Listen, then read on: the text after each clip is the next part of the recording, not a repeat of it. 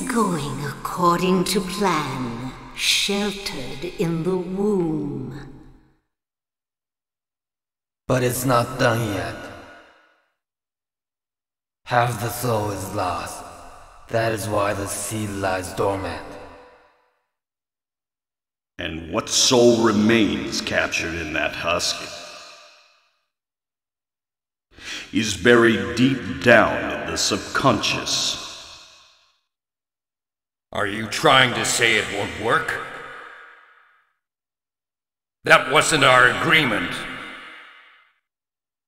No, no, these are just stalling tactics. If we lend a hand, we will be able to get power.